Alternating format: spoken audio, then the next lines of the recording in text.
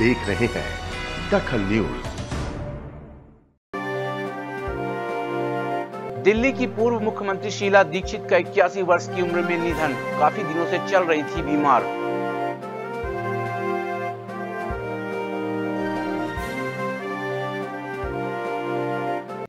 लालजी टंडन बने मध्य प्रदेश के नए राज्यपाल, आनंदीबेन पटेल होंगी उत्तर प्रदेश की राज्यपाल।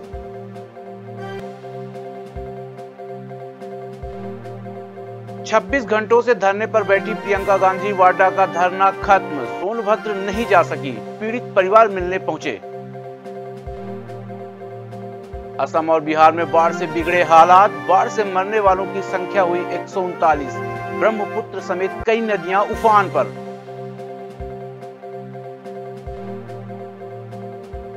और पति को निर्दोष पता, मीडिया पर बिफरी विधायक रामाबाई नार्को टेस्ट और सीबीआई की जाँच की मांग की।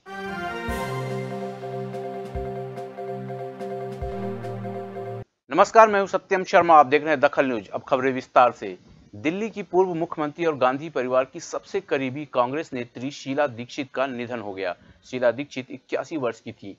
बीते काफ़ी दिनों से बीमार चल रही थी। आज सुबह ही दिल्ली के स्कॉट हॉस्पिटल में उन्हें उल्टी की शिकायत के बाद भर्ती करवाया गया था। शीला दीक्षित दिल्ली कांग्रेस की अध्यक्ष थी। उन्होंने हाल ही में लोकसभा चुनाव 2019 में उत्तर पूर्वी दिल्ली से मनोज तिवारी के खिलाफ चुनाव लड़ा था। शीला दीक्षित तीन बार दिल्ली की मुख्यमंत्री रही हैं। शीला दीक्षित के निधन पर देश के प्रधानमंत्री नरेंद्र मोदी व राहुल गांधी सहित कई हस्तियों ने ट्वीट कर श्रद्धांजलि अर्पित की।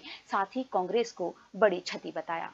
लालजी टंडन को मध्य प्रदेश का नया राज्यपाल बना दिया गया है। और मध्य प्रदेश की मौजूदा राज्यपाल आनंदीबेन पटेल उत्तर प्रदेश की नई राज्यपाल होंगी। लालजी टंडन इससे पहले बिहार के राज्यपाल थे और पूर्व प्रधानमंत्री अटल बिहारी वाजपेयी के राजनीति से संन्यास लेने के बाद लखनऊ सीट से चुनाव लड़कर लोकसभा पहुँचे थे। उत्तर प्रदेश के वरिष्ठ नेता लालजी टंडन को मध्य प्रदेश का नया राज्यपाल बनाया गया है। प्रदेश की मौजूदा राज्यपाल आनंदीबेन पटेल को उत्तर प्रदेश का राज्यपाल घोषित कर दिया गया है।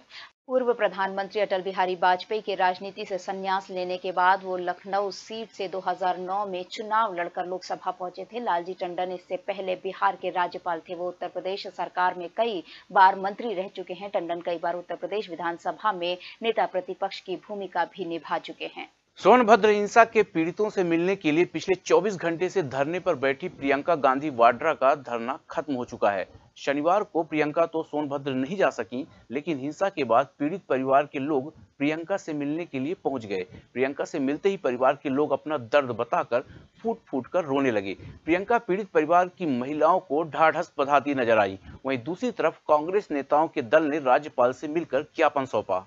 धरना समाप्त करने के बाद प्रियंका ने कहा कि यूपी में कानून व्यवस्था ध्वस्त है। यूपी सरकार को इसकी ज़िम्मेदारी लेनी चाहिए। अधिकारियों को सोनभद्र का प्रकरण पहले से पता था। ऐसी घटना वहाँ नहीं घटनी चाहिए थी। प्रियंका ने कहा कि सोनभद्र के वनवासियों की लड़ाई कांग्रेस लड़ेगी। भविष्य में वे नरसंहार के गाँव भी ज़रूर जाएँगे। प्रियंका ने मांग की है कि मृतकों के परिवार को कम से कम सरकार की तरफ़ से 25-25 लाख रुपए सहायता राशि दी जाए। जिस ज़मीन पर वनवासी पीढ़ियों से काबिज हैं उनकी तत्काल कानूनी अड़चने दूर कर उनके नाम पर कर दी जाए। निर्दोषों पर लगाए मुकदमे भी वापस लिए जाए। पूरे देश से कि आप इनके साथ खड़े हो।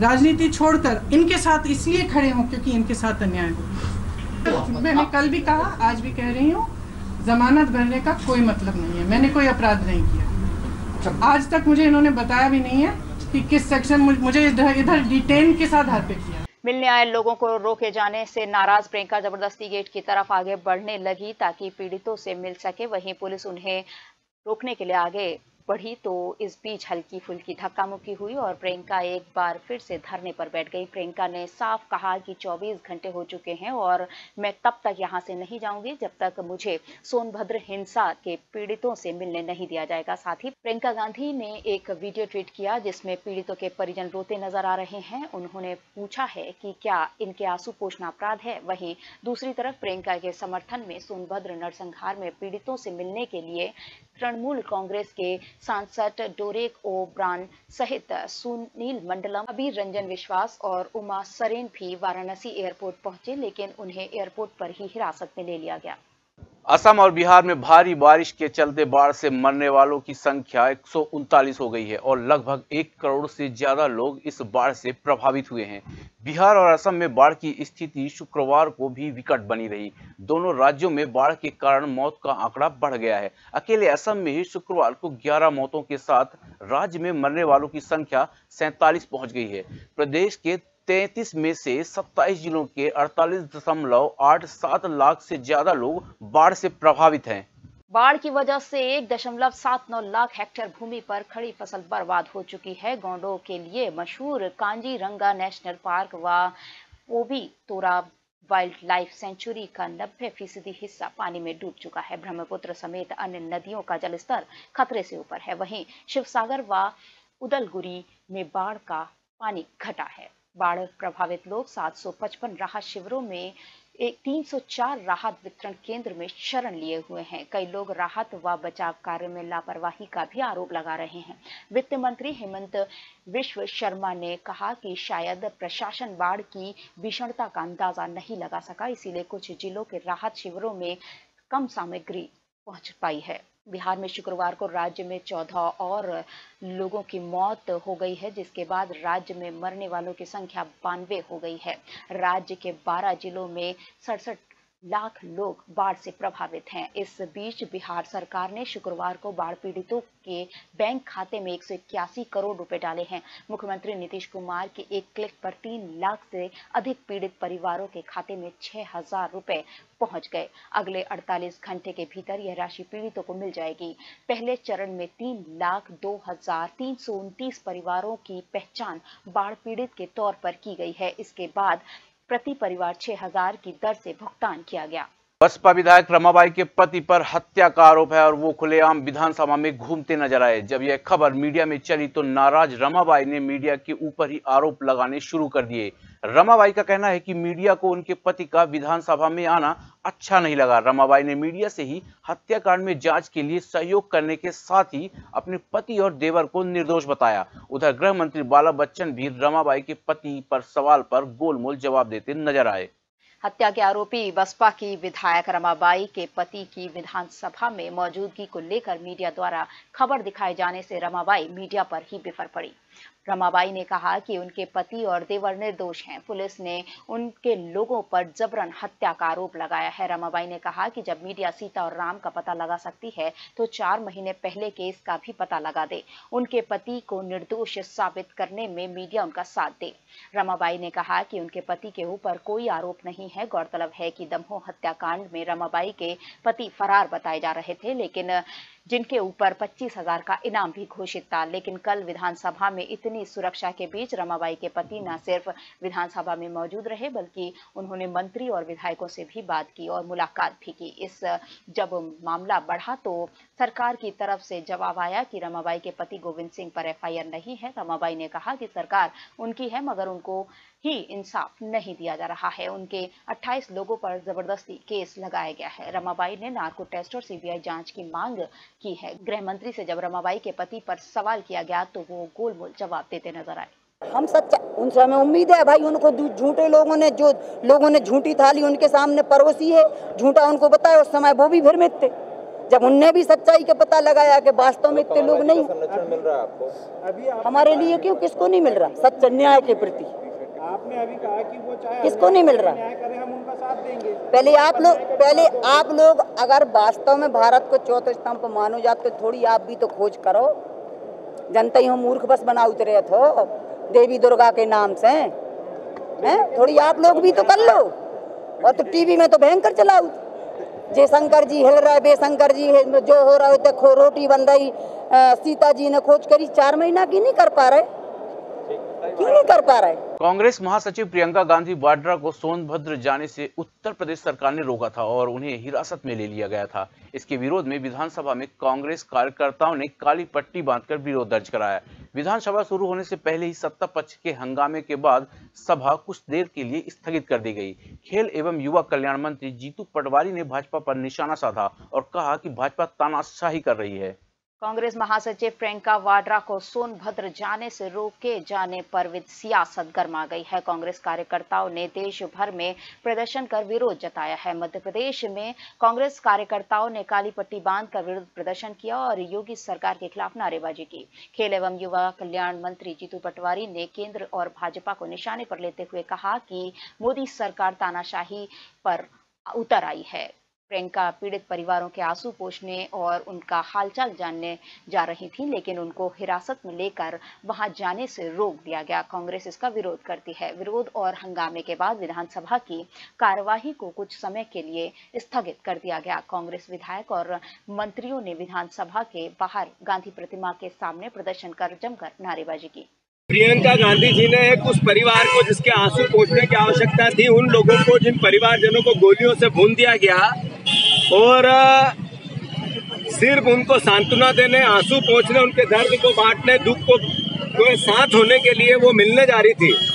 मोदी जी को इतना बड़ा बहुमत मिला पूरे देश ने दिया उसका सरोकार ये निकला कि तानाशाही के प्रथम सीढ़ी वो चढ़ गए। एक देश की ऐसी परिवार की नेता जिसने देश के लिए बलिदान दिए वो अपने आँसू पहुँचने परिवार के आँसू पहुँचने जा रही थी, उसको रात भर से प्रियंका जी को डिटेक्ट करके रखा, गिरफ़्तार करके रखा। पूरा विधायक दल लादणी कमलनाथ जी के नेतृत्व में विरोध करता है इस तानाशाही का।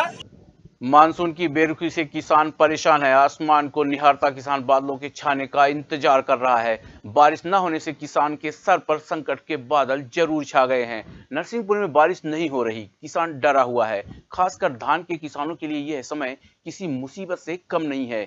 जहाँ उनकी रोपी गई फ़सल अब सूखने लगी है। मजदूरी निकालना भी अब उनके लिए दूर की कौड़ी साबित होने लगा है।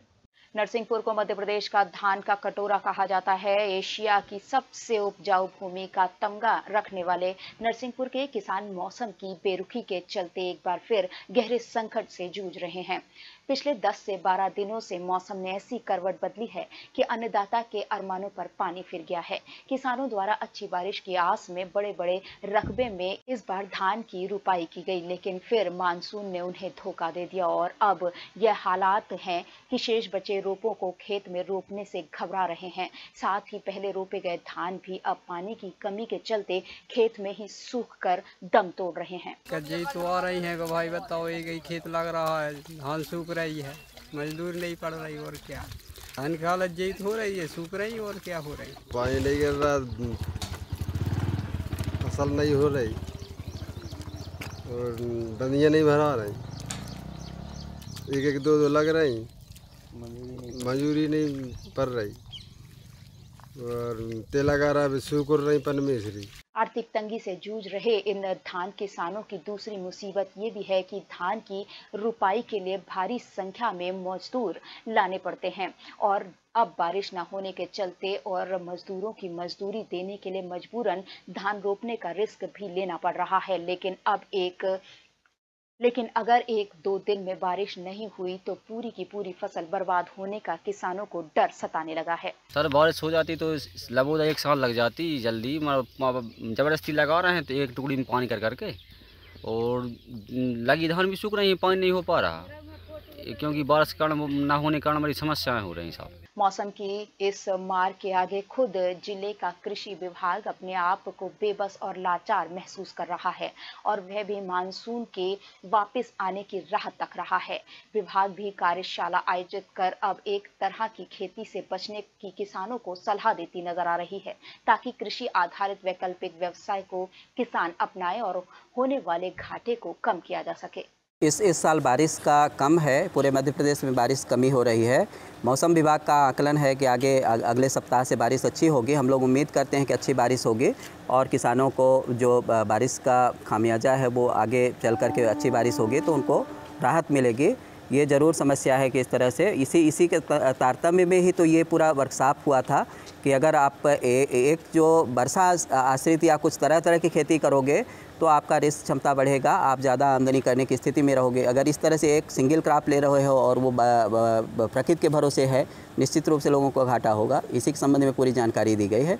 खेती को लाभ का धंधा बनाने के सारे जतन मौसम की मार के आगे बेबस नज़र आते हैं। कभी भारी ओलावृष्टि और कभी सूखे की मार से नरसिंहपुर का अन्नदाता हमेशा ही दो चार होता रहता है। और यही वजह है कि अब लोग पुराने पुश्तैनी खेती के व्यवसाय से पलायन कर रोज़गार की तलाश में भटकने को मजबूर हैं। खैर, फ़िलहाल वक्त हो चला है छोटे से ब्रेक का। ब्रेक के बाद फिर हाजिर होंगे। आप देखते रहिए दखल न्यूज़।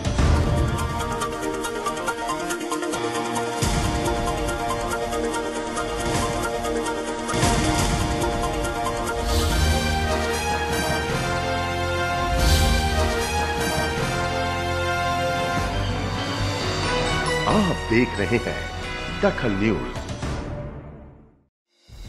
संगीत की स्वर लहरियों से सांस्कृतिक ताने बाने तक चंबल के पीड़ों से नक्सलवादियों के गढ़ तक झोपड़ी से महलों तक ठेलों से मेलों तक पगडंडियों से सड़कों तक गाँव से शहरों तक व्यापार से उद्योगों तक। राजनीति से कूटनीति तक।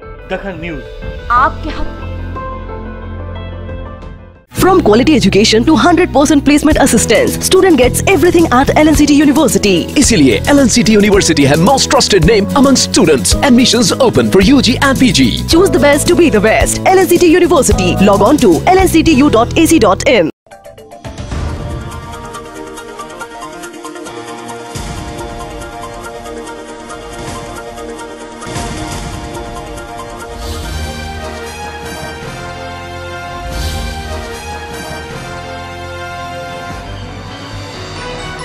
देख रहे हैं दखल न्यूज़।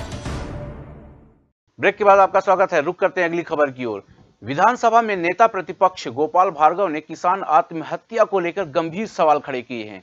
गोपाल भार्गव ने कहा कि ऋण माफ़ न होने के वजह से प्रदेश के किसान परेशान होकर आत्महत्या कर रहे हैं। गोपाल भार्गव ने कहा कि बैंकों ने अभी किसानों का ऋण माफ़ नहीं किया है। आए दिन किसानों को नोटिस भेजे जा रहे हैं और उनके साथ अभद्रता भी की जा रही है। सरकार की किसान ऋण माफ़ी योजना पर नेता प्रतिपक्ष ने सवालिया निशान लगाया और कहा कि किसानों का ऋण माफ़ नहीं किया गया है। राहुल गांधी ने कहा था, अगर तीन महीने के अंदर ऋण माफ़ नहीं होगा तो वो मुख्यमंत्री बदल देंगे। सीएम बदलना तो दूर, वो खुद ही पद छोड़कर चले गए। सात माह हो चुके हैं, सरकार बने। किसान परेशान हो रही है। बैंक के द्वारा किसानों को वसूली के नोटिस देकर उनके सामान की कुर्की किए जाने की बात कही जा रही है। ऋण वसूलने के लिए किसानों से अभद्रता की जा रही है। भार्गव ने कहा कि पिछले छह महीने में इकहत्तर किसानों ने आत्महत्या की है, जिससे सरकार की नाकामी साफ़ नज़र आ रही है। गोपाल भार्गव ने सरकार से मांग की है कि जल्द से जल्द किसानों के ऋण माफ़ किए जाएँ। कि मध्य प्रदेश के इकहत्तर किसानों ने पिछले छः महीने में आत्महत्याएँ की। ये आत्महत्याएँ हुई हैं वह जो कांग्रेस पार्टी की चुनाव घोषणा पत्र में वायदा था कि हम दो लाख रुपए तक की किसानों के ऋण माफ़ करेंगे, लेकिन उनके माफ़ नहीं हुए। लगातार वसूली के नोटिस जा रहे हैं। और इस कारण से किसानों ने भयग्रस्त होकर व्यथा से ग्रस्त होकर और कर्ज में दब के उन सभी इकहत्तर किसानों ने अपनी आत्महत्याएँ की हैं। इस बात को शासन ने भी स्वीकार किया। आदिवासियों के हित की बात करने वाली कमलनाथ सरकार पर अधिकारियों की लापरवाही और मनमानी भारी पड़ रही है। आदिम जाति कल्याण विभाग के अधिकारी बिना डरे कमलनाथ सरकार के आदेश की धज्जियाँ उड़ाते नज़र आ रहे हैं। प्रदेश में नया शैक्षणिक सत्र चालू हुए। पंद्रह दिनों से ज़्यादा हो गए हैं, लेकिन अधिकतर छात्रावास पर ताला पड़ा हुआ है और छात्र भटक रहे हैं। आदिम जाति कल्याण मंत्री ओमकार सिंह मरकाम ने छात्रावास शुरू न होने को लेकर जाँच कराने की बात कही है। एक तरफ़ कमलनाथ सरकार निकम्मे और कार्य में लापरवाही करने वाले अधिकारियों पर कार्रवाई की बात कर रही है। वहीं दूसरी तरफ़ नरसिंहपुर ज़िले के आदिम जाति कल्याण विभाग के अधिकारी बिना डरे कमलनाथ सरकार के आदेशों की धज्जियाँ उड़ा रहे हैं। प्रदेश में नया शैक्षणिक सत्र शुरू हुए, तकरीबन पंद्रह दिनों से ज़्यादा हो चुके हैं। बच्चे घर से निकल चुके हैं स्कूल जाने के लिए, पर ज़िले के अधिकतर छात्रावास अभी तक बंद पड़े हैं। ना तो छात्रावासों में खाने की कोई इंतज़ाम है और ना ही बच्चों के रहने का कोई इंतज़ाम है। अधिकतर छात्रावासों में पंद्रह दिन बाद भी ताला लटका हुआ है। अधिकारियों की लापरवाही से बच्चों की पढ़ाई तो बर्बाद हो ही रही है, साथ ही साथ उनके भविष्य के साथ खिलवाड़ किया जा रहा है। ज़िले के अधिकतर छात्रावास में दाखिला करवाने आए बच्चों को घंटों भटकना पड़ता है। आदिम जाति कल्याण विभाग के अधिकारी पूरे मामले से पल्ला झाड़ते नज़र आ रहे हैं। छात्रावास अधीक्षक का कहना है कि मेरी कोई गलती नहीं है, बच्चे अपने मन से नहीं आ रहे हैं। इसमें मैं कुछ नहीं कर सकता। मैंने तो बच्चों को भी बुलवा चुका हूँ फ़ोन भी कर चुका हूँ पाँच छः बच्चों को। आजकल की बोला आजकल में बच्चे ले जाएँगे मेरी व्यवस्था संचालन के लिए चालू है सभी व्यवस्थाएँ कर चुका हूँ। तो मैंने तो मेरी व्यवस्था कर ली है बच्चों को फ़ोन कर दिया है। बच्चे बोल रहे थे आने के आज की बोला था आज तो नहीं आए बच्चे अब देखो। अब ये तो मैं कुछ नहीं बता सकता मेरी व्यवस्था तो संचालित है मैं तो सब व्यवस्थाएँ बनाए रखे हुए हूँ। अच्छा। बच्चे आ जाएँगे मेरा मैच चालू हो जाएगा। जब इस बारे में जिला संयोजक आदिम जाति नरसिंहपुर से बात की गई तो उन्होंने भी गोलमाल जवाब देते हुए अपना पल्ला झाड़ लिया। रेखा पंचाल ने झूठ बोलते हुए कहा कि छात्रावास चालू है और अच्छे से संचालित किया जा रहा है। अब पंचाल जी को कौन बताए कि ताला पड़े छात्रावासों को अच्छे से संचालित करना नहीं कहा जाता?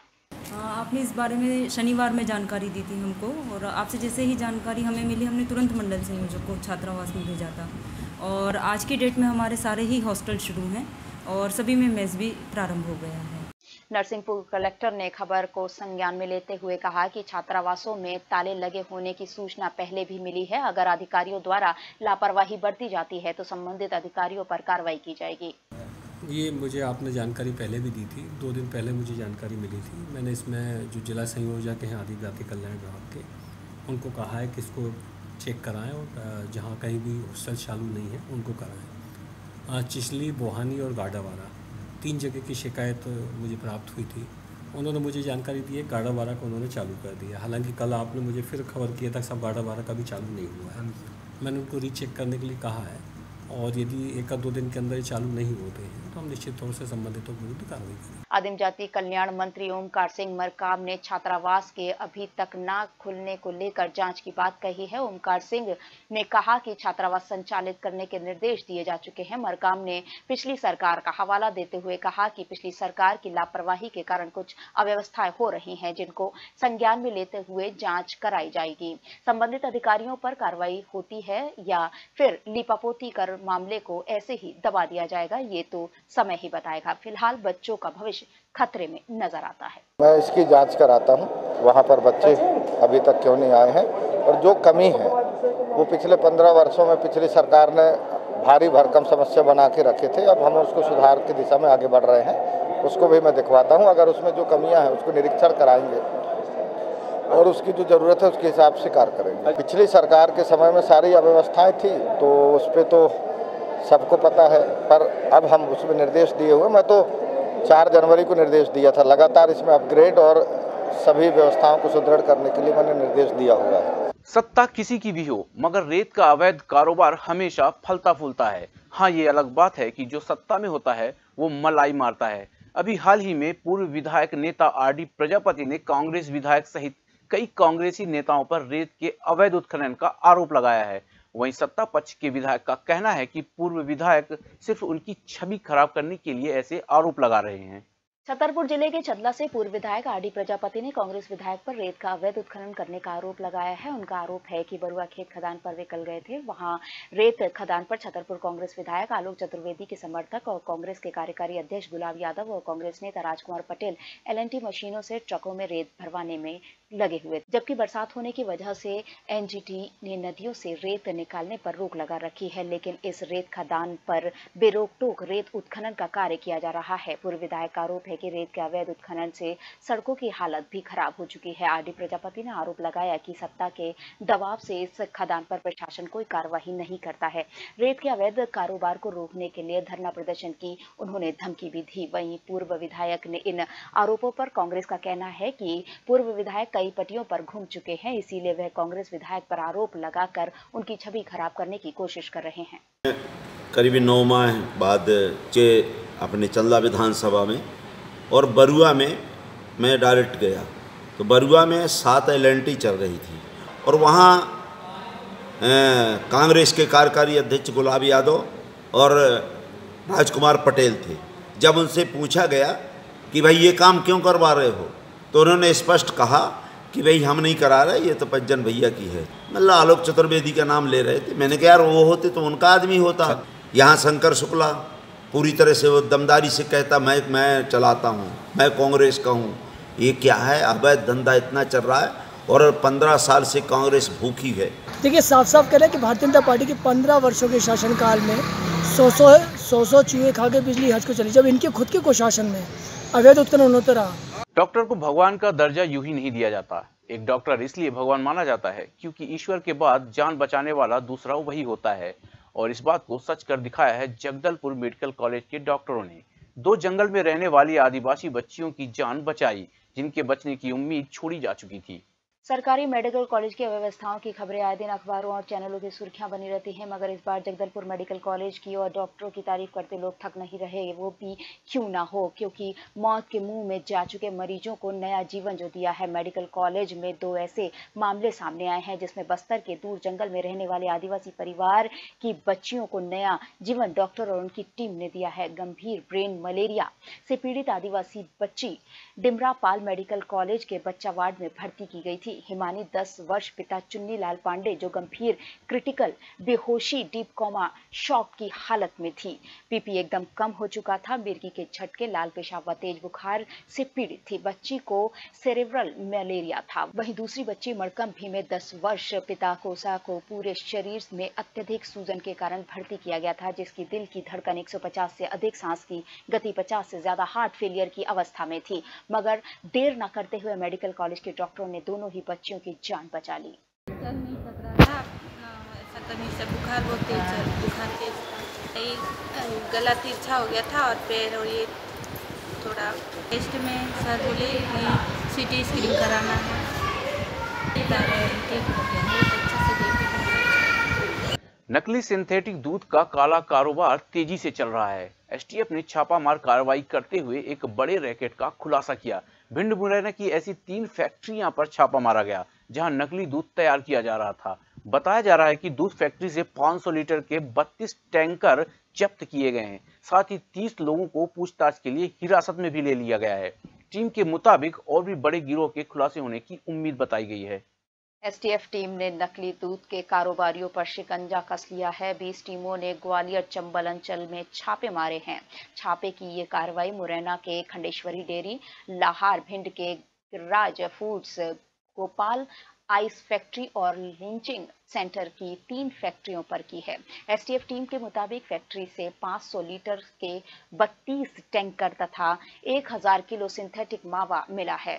फैक्ट्री के संचालक देवेंद्र गुर्जर, जयवीर गुर्जर, राम नरेश गुर्जर और दिनेश शर्मा नाम के व्यक्ति द्वारा संचालित की जा रही थी। टीम ने 30 से ज़्यादा लोगों को पूछताछ के लिए हिरासत में लिया है। आज एक बड़ी कार्रवाई करके नकली दूध बनाने वाले सिंथेटिक मिल्क तैयार करने वाले एक तीन बड़े जो इस तरह की जो फैक्ट्री हैं, इन पर कार्रवाई की गई है और कुल मिलाकर के पाँच ठिकानों पर जब कार्रवाई की गई, बीस टैंकर जो नकली इस तरह के सिंथेटिक मिल्क को सप्लाई करने वाले वो और इसके साथ साथ ग्यारह पिकअप व्हीकल्स इनको मौके से पकड़ा है। फिफ्टी सेवन लोगों को पुलिस कस्टडी में लेकर के पूछताछ की जा रही है। इस पूरी कार्रवाई में ना केवल S T F S T F ने अपने साथ में वहाँ के फूड्स ये जो डिपार्टमेंट है, उनके लोगों को लिया। लोकल एडमिनिस्ट्रेशन को भी सूचना दी गई। अंततः इस तरह की पूरी सूचना के बाद एक बड़े लेवल पर कार्रवाई एसटीएफ के द्वारा की गई है। एक पिता रक्षक से भक्षक बन गया और अपनी ही डेढ़ साल की अबोध बच्ची को शराब के नशे में ज़मीन पर पटक पटक कर मार डाला और अपनी इस करतूत को छिपाने के लिए बच्ची के शव को नाले में फेंक दिया। पिता के इस घृणित कृत का खुलासा उसी की पाँच साल की बेटी ने किया। जबलपुर माड़ो ताल थाना अंतर्गत दीनदयाल चौक में एक हैवान बाप ने अपनी ही डेढ़ साल की बच्ची को मौत के घाट उतार दिया। मिली जानकारी के अनुसार, अजय अपनी तीन बच्चियों और पत्नी किरण के साथ दीनदयाल चौक स्थित फुटपाथ पर रहता था। अजय नशे का आदि होने के कारण आए दिन अपनी बीवी से झगड़ा करता था। वहीं किरण को चौथी डिलीवरी के चलते तीन दिन पूर्व ही अस्पताल में भर्ती किया गया था। रात में अजय ने जमकर शराब पी और घर आया। घर में अजय की पाँच साल की बेटी और डेढ़ साल की मासूम बच्ची अकेली थी। अचानक से अजय ने अपने डेढ़ साल की मासूम बच्ची को उठाकर ज़मीन में पटकना शुरू कर दिया, जिससे मौके पर ही मासूम की मौत हो गई। नशे में चूर हैवान बाप ने अपने इस घिनौने कृत को छुपाने के लिए बच्ची की लाश को घर के सामने बने नाले में फेंक दिया। सुबह जब अजय की साली घर आई तो पाँच साल की बच्ची ने अपनी मौसी गीता को सारी बातें बताई। वही गीता ने तत्काल थाने पहुंचकर अपने जीजा अजय की हैवानियत के बारे में बताया। मौके पर पहुँची पुलिस ने नाले से बच्ची के शव को बरामद कर आरोपी अजय को गिरफ़्तार कर लिया है। चार साल की बच्ची लगातार बोल रही है कि मेरे पिता ने रात में ऐसा कृत किया है।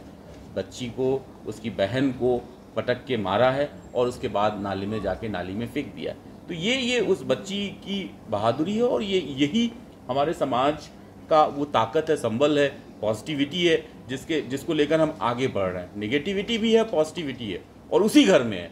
ये देखिए, ये ये बहुत अच्छा उदाहरण है अच्छा नज़ीर है कि एक बाप अपनी बेटी को मार रहा है और एक बहन जो है, वो अपनी बहन के कातिल के विरुद्ध इतनी मुखर होकर सामने आ रही है और बता रही है। क्योंकि पहले वो पुलिस, खाकी का मतलब वो पुलिस समझ रही है। एल्गिन हॉस्पिटल में उसकी माँ हॉस्पिटलाइज है और वहाँ जा रही है। तो सबसे पहले वो एक खाकीधारी को, जो वहाँ का चौकीदार है, सिक्योरिटी गार्ड है, उसको जाके बता रही है कि हमारे पिता ने क्या किया। बच्चा चोरी के शक में भीड़ ने एक मानसिक विक्षिप्त युवक की जान ले ली। भीड़ की पिटाई से जान खो बैठे युवक को मारने के बाद भी इंसाफ नहीं मिल रहा। अब उसका मृत शरीर पुलिस और स्वास्थ्य विभाग की घोर लापरवाही की यातनाएँ झेल रहा है। शव को पोस्टमार्टम के लिए मरचुरी पहुँचाने वाला कोई नहीं है। मानवता एक बार फिर शर्मसार हुई। एक मानसिक विक्षिप्त युवक को इसलिए ग्रामीणों ने पीट पीट कर मार डाला क्योंकि उन्हें इस पर बच्चा चुराने का शक था। मृतक जो मानसिक विक्षिप्त युवक है, वो आजमगढ़, उत्तर प्रदेश का रहने वाला है। अब उसके मृत शरीर को भी पुलिस और स्वास्थ्य विभाग की घोर लापरवाही झेलनी पड़ रही है। मानसिक विक्षिप्त युवक का शव कई घंटे से अस्पताल के ड्रेसिंग रूम में रखा है। शव को पोस्टमार्टम के लिए मर्चुरी रूम तक कोई पहुँचाने की सुध नहीं ले रहा। बच्चा चोरी की घटनाओं के बाद लोगों में डर फैल गया है। ऐसे में कुछ असामाजिक तत्वों द्वारा अफवाहें फैला दी जाती हैं। जिससे लोग परेशान होते हैं और पुलिस सही ढंग से काम नहीं कर पाती। इस समस्या के निराकरण के लिए एडिशनल एसपी दिनेश कौशल ने सुरक्षा समिति की बैठक में लोगों को अफवाहों पर रोक लगाने को लेकर समझाइश दी। असामाजिक तत्वों द्वारा बच्चा चोरी की अफवाह फैलाकर लोगों को परेशान किया जा रहा है। लोग घबराहट में कुछ भी कदम उठा लेते हैं, जिससे उनका नुकसान होता आ रहा है। आए दिन बच्चा चोरी की झूठी अफवाहें सोशल मीडिया पर देखने को मिलती हैं। बैरागढ़ थाने में एडिशनल एसपी दिनेश कौशल ने झूठी अफवाहों पर रोक लगाने के लिए बैरागढ़ और खजूरी थाना क्षेत्र में सुरक्षा समिति की बैठक रखी इस बैठक में बच्चा चोरी की अफवाहों को लेकर समझाइश दी गई साथ ही सोशल मीडिया पर अफवाहें फैलाने वाले और मॉब लिंचिंग की घटनाओं पर अंकुश लगाने को लेकर बात कही इस बैठक में एसडीओपी दीपक नायक सहित खजूरी सड़क बैरागढ़ परवलिया थाने के प्रभारी शामिल थे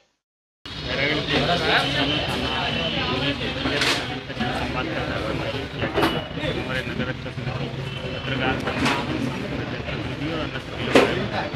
जिसमें ये बात की गई एक तो नशा की नशा की सूचना कहीं भी मिलती है हमारे यहाँ लेके तत्काल कार्रवाई करना भोपाल इस तरीके की गई है मूर्त रूप में शामिल हो जाएगी दूसरा उसके अलावा आजकल अफवाह चल रही है सोशल मीडिया में कुछ लोगों ने बताया कि बच्चा चोर आया चला है इस बुलेटिन में फ़िलहाल इतना ही। आप देखते रहिए दखल न्यूज़। दखल आपके हक में।